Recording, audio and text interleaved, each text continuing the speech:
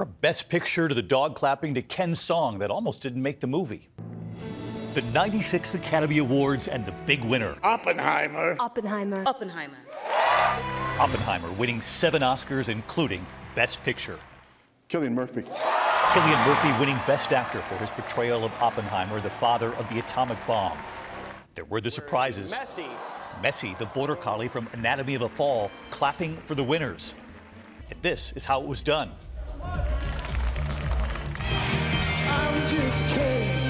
Actor Ryan Gosling singing I'm Just Ken with 62 other Kens. Margot Robbie, director Greta Gerwig dancing too. And tonight, the song's co writer and producer revealing that that song almost didn't make the final cut of the movie. But director Greta Gerwig was determined. It was quite a night.